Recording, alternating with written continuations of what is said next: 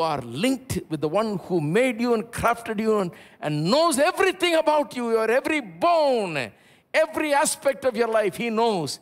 He has called you, He is taking you places, He is leading you and guiding you and blessing you so that you can be a blessing to others.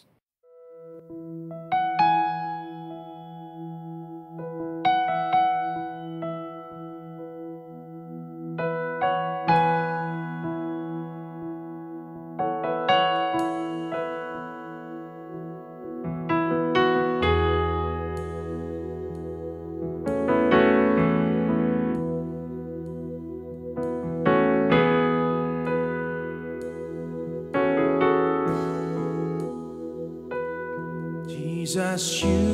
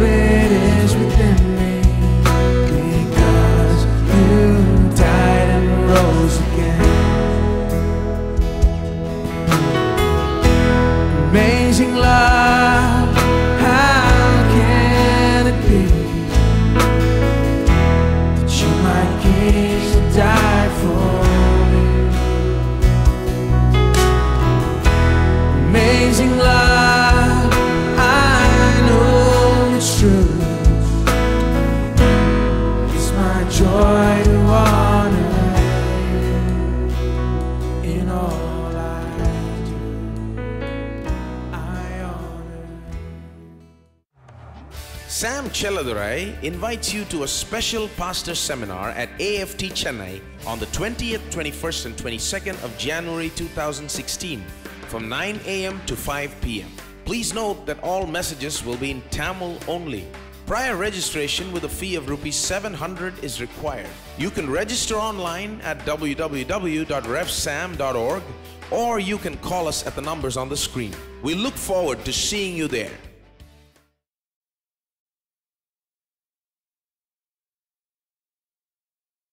There is great value to human life. But when does that value gets established? At what point is man valuable? After his birth? After he's born, is he valuable? The Bible says that human life has value from the time of conception. Mother Teresa, all of you know, has done a great work in Calcutta and around the world worked with children a lot, helped children a lot. When she was in America in 1994, she was asked to speak at the National Prayer Breakfast, an event that happens in Washington, D.C., for people in the government, the elected officials like senators, Congress, and uh, secretaries, the ministers of the government, including the president and vice president, all of them attend the prayer breakfast. Usually, some very famous person is invited to speak. And um, she was invited that year to speak. This is an elite crowd, very powerful, some of the most powerful people on the whole face of the earth seated there. And she was standing there, and they say you could hardly see her face because the podium was bigger than her, you know. She was just taking out her head and speaking through that, that simple woman standing before, behind that pulpit. But she carried such authority because she has done such a good work. And as she spoke, everybody listened with rapt attention. And she said this. She was talking, she, all, she somehow talking about uh, things. She went into the uh, subject of abortion. She said this abortion is war against the child, a direct killing of the innocent child. Murdered by the mother herself. If we accept that a mother can kill her own child, how can we tell other people not to kill one another? Now, in 70s, they made abortion legal in America, and since then, people have taken utmost advantage of it. You know, for any and every reason, they started getting, uh, you know, this abortion done. You know, if they didn't like to have a child, just abort. You know, it's no big deal. You know, they take it very lightly. You know, I know that for medical reasons, uh, many times it's needed to be done, but then people started using it for every reason. You know, left and right for their convenience, started using this facility because it's become legal now. And, and the whole nation was talking about it. It's become a big issue, and a lot of Christians were objecting to it, and so on. And in that context, Mother Teresa spoke. And she said, That's murder, that's killing.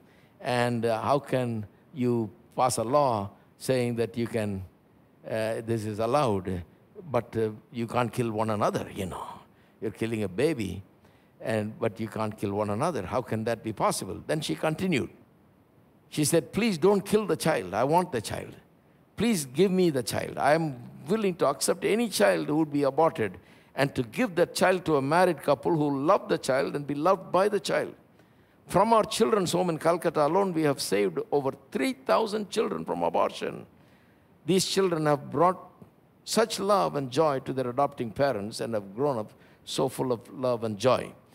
Now, the issue, see, this is just an example. Abortion is just an example. I'm not trying to talk about abortion here. So don't get diverted thinking about abortion. Abortion is only an issue. But the larger issue about which this is an illustration is the issue of value of human life. That's why we are referring to abortion here, uh, to Mother Teresa's statement here. She says, uh, don't kill that child. Give me that child. I will raise that child. I will take that child and give it for adoption somewhere. She'll grow, that child will grow up uh, in a good surrounding and bring such great joy. We have done this to thousands of children, she says. Why is she interested so much in saving lives? Some people are just easily killing lives.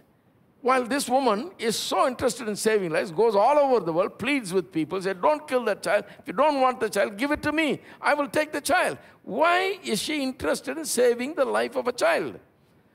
Because she has this Christian ideal that comes from the scriptures of the value of human life. Now, I'm sure that a lot of people value human life after the child is born. Once the child is born, you have no problem. And everybody says, yeah, human life is valuable, you know, uh, take care, you know, don't kill the child or something like that. But they think when the child is still in the womb,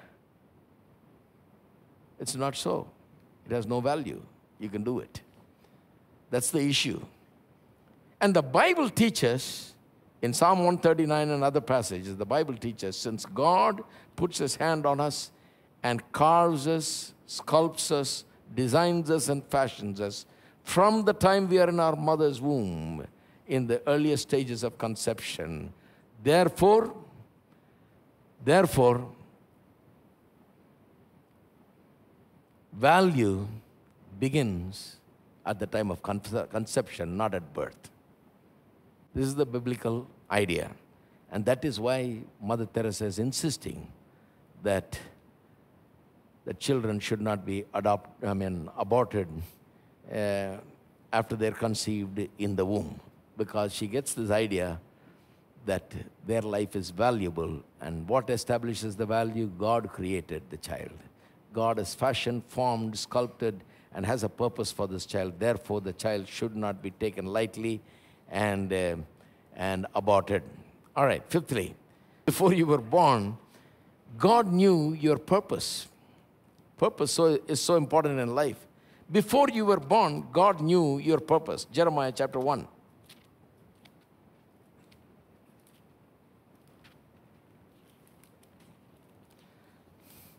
See, God established the value of your life even when you were in your mother's womb.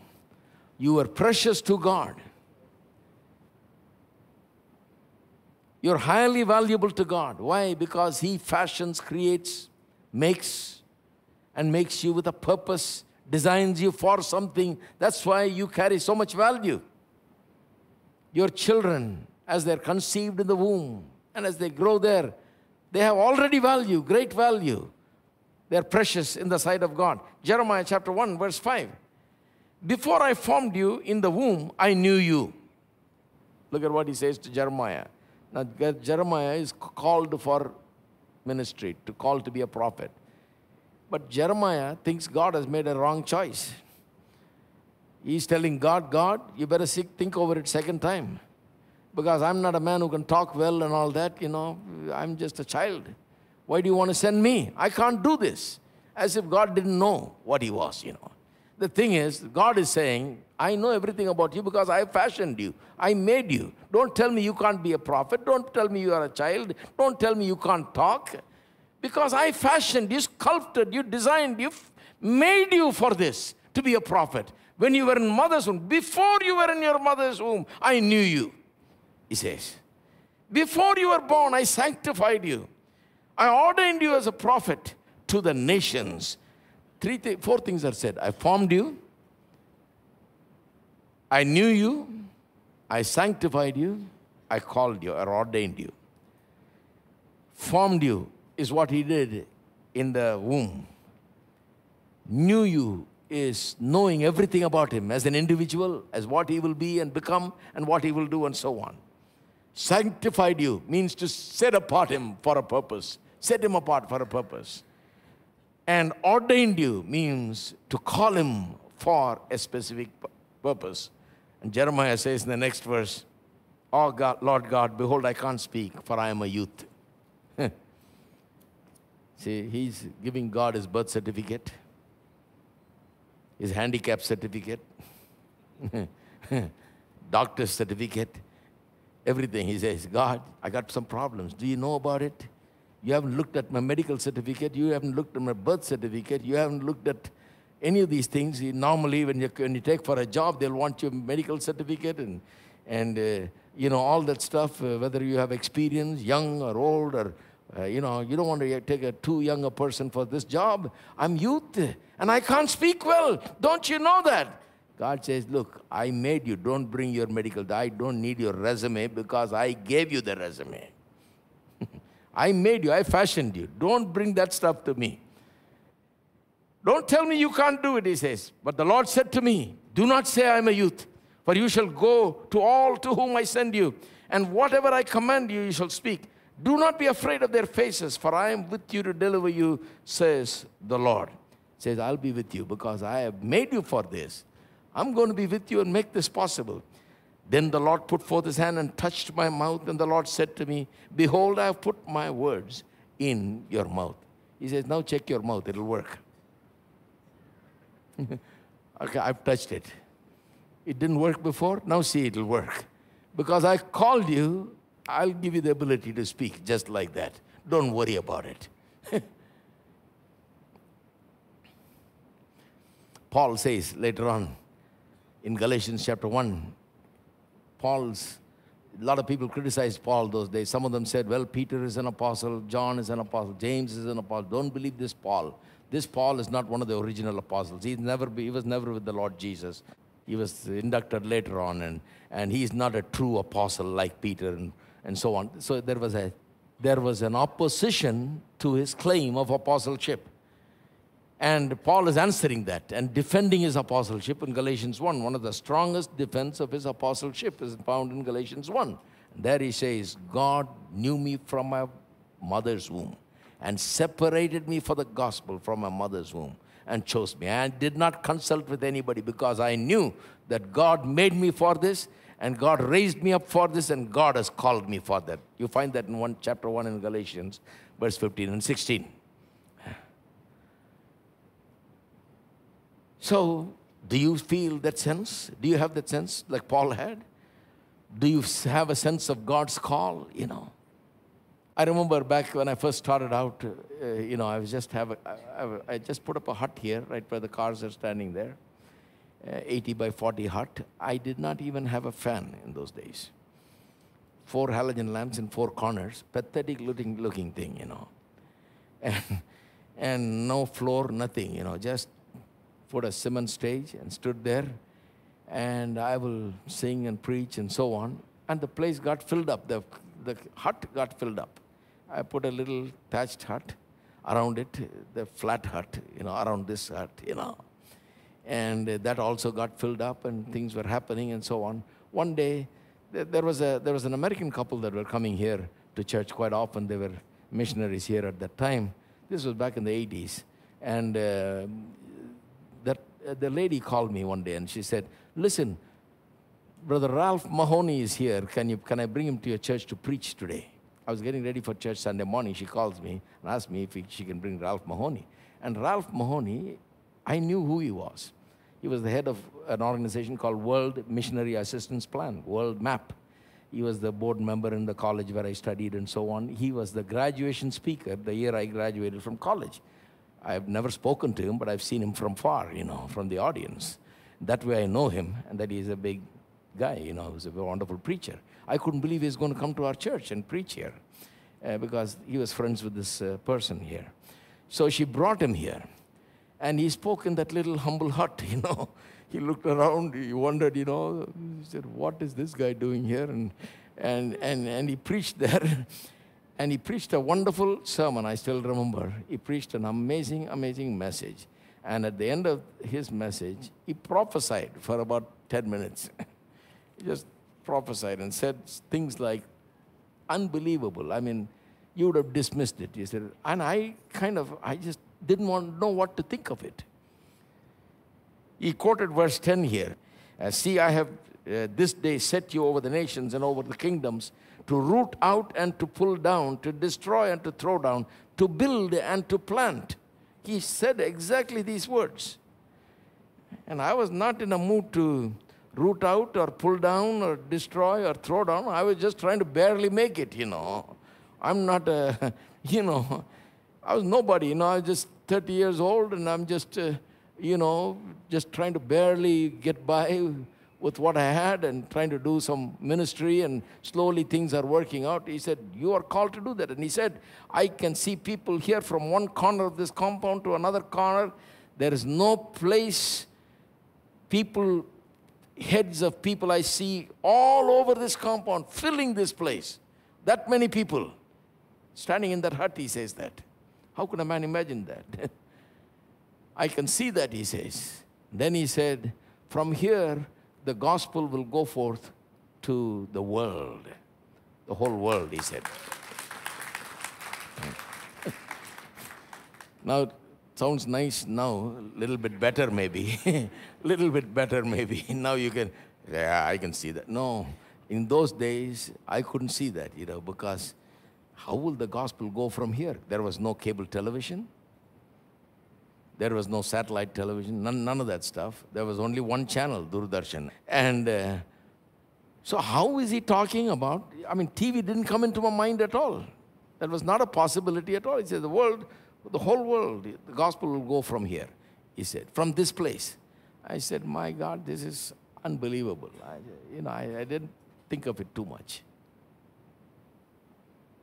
But as the days went by and things changed, I remember that now. And I believe more and more that God saw me in my mother's womb and took me by his hand and crafted me and fashioned me and sculpted me and made me for this very purpose. I believe that with all my heart. And it has helped me through various struggles in my life because I believe that God truly loves me and he has his eyes on me. And therefore, when I faced difficulties and pressures and problems, when I was put in a corner many times and faced all kinds of difficulties and challenges, when I thought I couldn't make it anymore, I always relied on this that I am in God's hands from the time I was in my mother's womb. God made me for this, crafted me for this, called me for this. He told me to go. He put his hand on my mouth and made me speak. He gave me the words, He gave me the anointing, He gave me everything. Therefore, if it will happen, doors will open, things will change, barriers will be removed, success will come. I believed it. And it's important. See, I'm just giving you my example because that's, that's all I have, you know. Because when I read Jeremiah, that comes to my mind. But it's true for you also. God, before God formed you in your, in your mother's womb, God knew you. Not only did He knew you, He formed you, He knew you, He separated you for something, gave you a unique job, unique thing for which you are called. That's why the most important thing in life is to know God because He's the one that He's the only one that knows who you are and what you're called for. See, a lot of people don't even know what they're called for because they don't know God. And when they come to know God, they think of it very religiously. Have you taken baptism? You know, that's all Christianity is all about. They make it look like, you know. Oh, have you taken? Oh, yeah, I have taken baptism, yeah. Have you got the certificate? Yeah. Have you given the name in the church? Have you got your membership? Yeah. So what? Christianity is something more than that. Christianity is where through Jesus Christ you come into contact with God and uh, you and God are together. You are linked with the one who made you and crafted you and, and knows everything about you, your every bone, every aspect of your life. He knows. He has called you, He is taking you places, He is leading you and guiding you and blessing you so that you can be a blessing to others. So don't look at it in a religious way. Oh, I go to this church, I took baptism there, and I'm a member there. That's not the thing, you see. Are you connected with Jesus Christ, the one who sculpted you and made you? Do you know why you are here? Do you know what you're made for? Is He leading you by taking you by your hand? Is He with you? I believe He is with me today. And I believe that He'll be with me till the last day of my life. He'll take me where I need to go and help me do what He has called me to do because I'm in His hands. Amen? Sixthly, He knows your potential. Before you were born, God knew your potential, your hidden abilities. See, abilities are often hidden, you know, but God knows it. Genesis 1:26 says, "Let's make man in our image and likeness. Let them have dominion." So God made man in his image and likeness. Made them as male and female, verse 27 says. What does that mean? It means that man is carrying the image of God, the likeness of God in some way, that whatever he does is a reflection of God himself when he loves his children, when he loves his family, when he loves others, it's a reflection of God. When he works in this world, does things, it's a reflection of God. It is reflecting God. When he changes problems and difficulties, he's taking dominion. He's a reflection of God. God has dominion over everything. He has given him dominion. He's reflecting God. He feels love. Why? Because he's a reflection of God. He has a moral nature. He believes in right and wrong. He can't do wrong and sleep peacefully. Why? Because that's a reflection of God. You see. So you have possibilities beyond your wildest imagination. You are made with possibilities. You are made with potential. God knows your potential. You see. The other day I was telling about this guy who wore John 3:16 below his eyes. His name is Tim Tebow.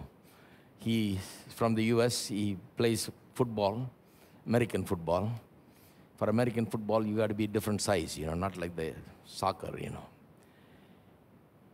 But if you hear the story, his story, you'll be amazed. His mother and father were living in Philippines at one time, and during the time they lived here, lived there, the mother uh, was infected with some kind of a infection that uh, was so dangerous, and she went into coma actually, and some strong drugs were given to her, and she recovered.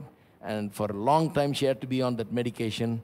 And during the time that she was on medication, she became pregnant and the doctors told her to uh, do away with the child, you know, abort the pregnancy because, uh, you know, the drugs would have affected the child's life. So she decided from that day on to stop the medication that she was taking. That's her decision. I'm not saying everybody should do that. She stopped the medication and she decided to have the child instead of aborting the child. And the child was Tim Tebow, who became a very famous star football player in America. Because he wrote John 3.16 below his eyes, 90 million people Googled to find out what John 3.16 is all about, you know. He grew up, he was born in 18, in 1987 and grew up as a six foot three inch tall big man who could play football, uh, American football, you know. So, potential. When he was born, they say he was puny. They thought uh, something's wrong with this guy. You know, he's puny, little, but he was healthy. And uh, they thought he'll be a puny little child, but he grew up six feet three inches tall. All the potential came out. Just in a few years, he started looking so different and accomplished the things that God had crafted him and made him for. Amen? Finally, God knows, even before you were born, God knew your future, what your future is. This is a great consolation.